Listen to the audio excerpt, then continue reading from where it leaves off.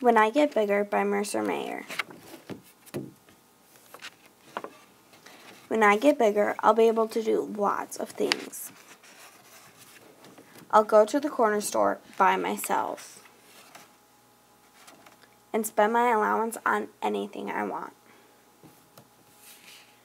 I'll wait until the light is green, then I'll look both ways for cars before I cross the street. I'll have my own watch and tell everyone what time it is. I'll go on a bus to Grandma and Grandpa's. I'll go to first grade.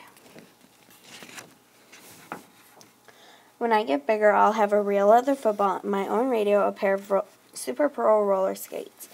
I'll have a two wheeler and a paper route. I'll make lots of money. At the playground, I'll help the little kids on the swings.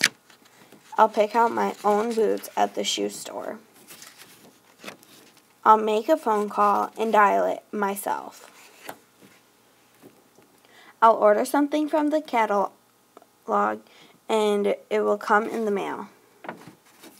When I get bigger, I'll camp out in the backyard all night long, or I'll stay up to see the end of the late movie. Even if I get sleepy, I won't go to bed. But right now, I have to go to bed because mom and dad say